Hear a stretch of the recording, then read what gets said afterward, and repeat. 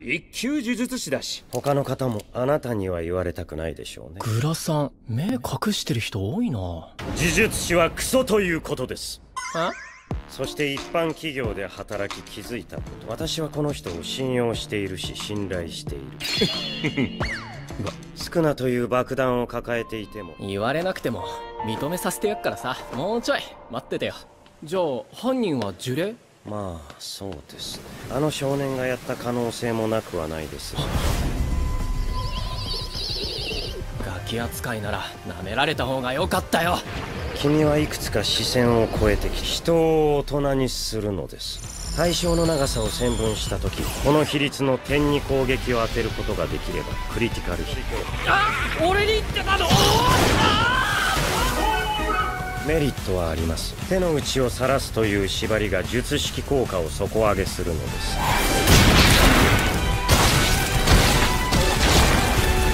虎杖君後ろ。つまり一度の打撃に二度のインパクトが生まれる。これは大きな武器になる。素の力が人間離れしているのか。衝撃が少ない重力ながら失礼。今とどめをこれを見てください。いや元人間と言った方がいいかな。映画館の3人と同じだな。おそらく意識障害。錯乱状態を作り出すためだろう。そのあたり履き違えるなよ。どっちもさ俺にとっては同じ重さの他人の死だ。この子は他人のために本気で怒れるのだな特級仮想音量そう呼ばれる呪霊がいる有名な妖怪や怪談ってことですか？トイレの花子さんとかキュービの陽子とか色々。でも人々が常に恐れているのはそんなおとぎ話じゃないだろ？大地を森を海を恐れてきた。真人さんは何の呪いなんですか？窓による残影の報告をまとめました。これである程度犯人のアジトが絞られます監視カメラの映像と佇まいからして彼が呪詛師である可能性は低いと考えていました。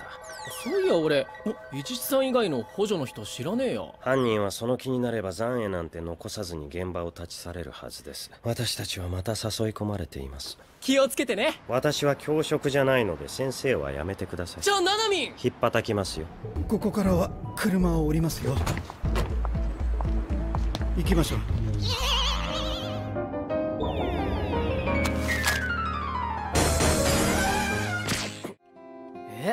超絶絶叫計画って5があんの？パロディ映画ですらないし。じゃあ何映画なの？なんでいんの？ここ俺らの物質にするから使うなって言ったよな。いいからさっさと出ていけよゴキブリども。持って帰るから。足溶けて。了解好きの反対は無関心なんて初めに言った人はちゃんと地獄に落ちたでしょうか。シンプルな答えを複雑にして別に浸るのそれ考えたの日本人じゃないよ。愛ってのはいろんな定義があるから大義に無関心が成り立つと思うんです誰も考えずに広まったっていうか。みんな言葉遊びが好きなのさ。逆にそっちはどこまで小さくできるのか試してみた。それが僕の母だったら取り乱し真人さんを憎んでいたかもしれません。人間の行き着くべき美徳です。そんな君が復讐ね。でもそれは心じゃない。じゃあ僕のこの心と呼ぶにはあまりに機械的だよ。人は目に見えないものを特別に考えすぎる。命もただ巡るだけだそれは俺も君も同じ。生き様に一貫性なんて必要ない。お腹が減ったら食べるように憎いなら殺せばいい。いました。あれ？私服？高校にはしばらく行っていないみたいですね。それを使います。んそれ呪霊？1呪いを視認できない一般人の場合。5人ならそれでいい。後で謝りましょう。42級術師以上のポテンシャルが吉野純平にあった場合。通常呪霊と同等級の術師が任務に当たると五条さんが適当だから。ここからは車を降りますよ。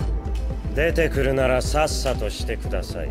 異業手遅れとはいえ残業は嫌いなので手早く。済ませましょう。似ている。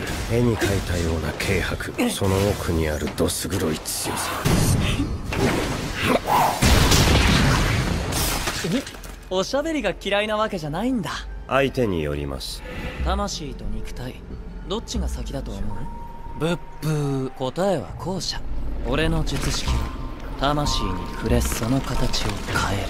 呪術師はどうかな？17時半。今日は10時から働いているので。ダメじゃないか。学校サボって佐山西村本田亡くなったって。だけでもあげに行こう正気じゃない。ね学校を卒業して学校を勤めるから。どいつも。こいつも。何を。ブツブツ言ってんだよ。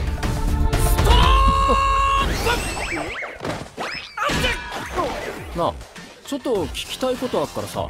つらかして。ああ。このボタン。やめやめなさい。持ってかないで。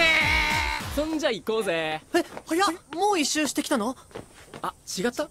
違くないけど。嫌いなやつにいつまでも家の前いてほしくねえだろ。よく動くね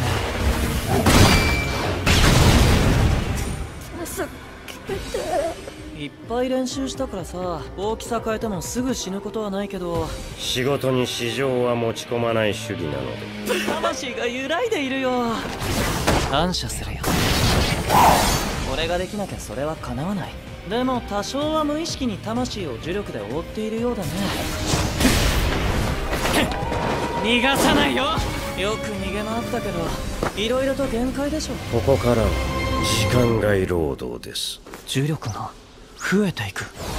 ここからは時間外労働です。線分するのは全長やウィングスパンだけではありません。本気だね。この呪霊の払い方現時点で考えうるのは一つ破壊した対象に重力を込める拡張術式。相打ち覚悟の広域攻撃。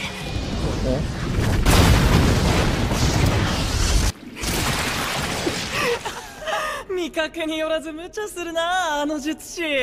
呪力の消費も自己保管の範疇だ。一度退くと言っていたけど瓦礫の下かも。今の虎杖君ならすぐやられるようなことはないでしょう私は多分泣く。今位置情報を送ったのでピックアップお願いします。私は一度高専に戻って家入さんの治療を受けます。いっぱい練習したからさ。実験体としてはベスト。五条さんが戦った特級呪霊は領域展開まで得得していた。取り返しのつかないことになる。通から拾ってみたら給食の糸こんにゃくだったんすよ私わかんない。映画ネタ？ひど あんたぐらいの年頃は何でも重く考えすぎるからね。学校なんて小さな水槽に過ぎないんだよ。ああ俺会ったことねえんだわ。父ちゃんはうっすら記憶あんだけど俺にはじいちゃんがいたから。虎杖君は呪術師なんだよね。言ってよかったのかな。なんつうか一度人を殺したら殺すって選択肢が俺の生活に入り込むと思うんだ。でも僕が人を殺すことであの魂が汚れてしまうなら。ユージ君もう帰っちゃったかな。げもうこんな時間。片付けないと。むき出しのスクナの指福沢ん小指が見つかる。掛け布団をめくるとあるだけの保冷剤と氷のうが敷き詰められていた人を助けろ。そんなの俺はごめんだ。ダメです。でもそれは今ではない。それでも殺したくはないな。黒い服は持っていなかったから母のクローゼットを開けて初めに目についたものを羽織った。人を呪うことで金を稼いでいる呪詛師は多い。そういう連中の仕業だろう。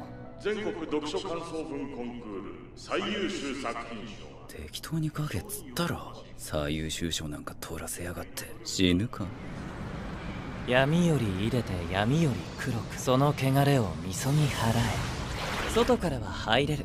あくまで呪力の弱い人間はだけど住宅地での事前告知のない飛ば少な優位の縛りを課す。ジョーゴも君くらい冷静だと助かるんだけどな。悪巧み？まあね。それじゃ私はおいとまさせてもらうよ。死にはしないよ。いや知っているのか？何が起こっているか？聞きたいことがあるあれをうちに置いたの。お前か。お前は死ぬのだよ。質問の答えがイエスでもノーでも。だから。引っ込んでろよ呪術師。俺は行くよナナミ理由は今朝も言いましたね